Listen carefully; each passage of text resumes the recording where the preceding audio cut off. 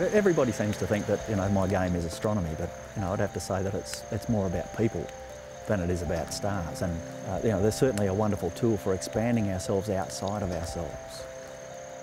Being under the stars has taught me many things, and being able to share those stars with other people, well, I've, I've noticed that they can learn from those stars too.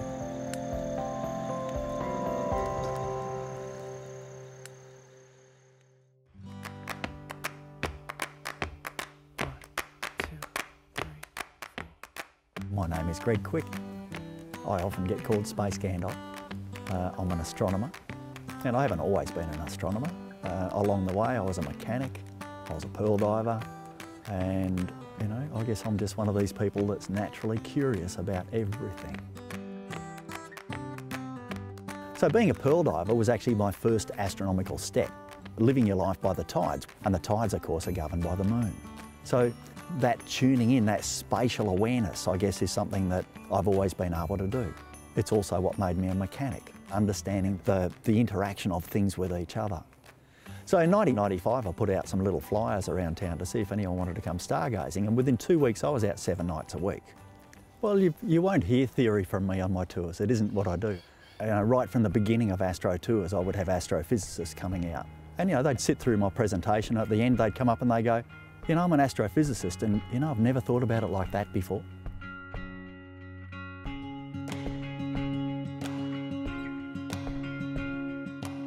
It was a really powerful moment in my life when I realised that the Earth was turning. I was working in the Kimberley, sleeping out under the stars every night. And I got really quite excited about lying on my back on the curved surface of the Earth while it turned me through space. That's the moment it translated from being a piece of intellectual knowledge that I knew because somebody had told me about it to being a reality in my life. I guess what, I, what I'm presenting is what I would call intensely practical astronomy. And it's the seeing of that which seems to trigger these insights in people. Yeah, there's a whole series of common revelations that I see people go through. I want to talk about this planet. Here, this is east. And right at this moment, we're doing just under a thousand miles an hour that way. Yeah, you can feel it, can't you? I was talking to someone the other day and I said to them that I, I live in Broome and they said that's got to be the, the place in Australia that's the least like Australia. And I thought, that's a pretty good take on Broome. I mean, Broome is, it's a different place. You know, everything that happens here seems to be bigger. The tides are bigger, the colours are bigger, you know, the, the barramundi are bigger. It's almost like people's hearts are bigger in Broome too.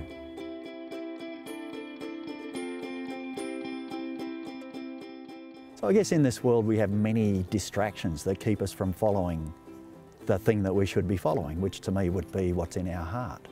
You know, we have our mobile phones, which we you know we're kind of glued to. This stuff is poison. It's a real trap that will pull any of us in. You know, it tends to put us out of touch with the things that are really going on. So, you know, watching the movements that are going on around us all the time and becoming aware of them, for me, has let me know that all of these things are on track. You know, as much as we can feel out of sorts as humans, it's, it's almost like, you know, you, you are where you're supposed to be. And to settle into that and to allow that to be in your life, then perhaps it would become easier for us to realise what our next step is. And I guess that's what I've learned from the planets, is that they're all in the right place, so we must be too. So the best thing you can do is just take yourself out under the stars and look. You know, if you really want to, take a pair of binoculars and go exploring in the sky. And when I say exploring, you're going to find things in those binoculars. You're going to find star clusters, you're going to find nebula. And you don't have to know what they are to just appreciate their pure beauty. And that beauty that you come to appreciate, is a, there's a very good chance that it's going to rub off on you.